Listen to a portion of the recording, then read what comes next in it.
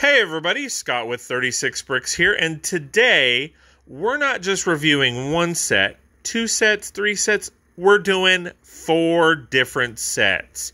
Let's check them out. Yeah, that's right. These are the sets right here. The regular video is going to be posted soon. So check that out. Hope you like it. Please like, share, and subscribe. And we will see you next time on 36 Brix.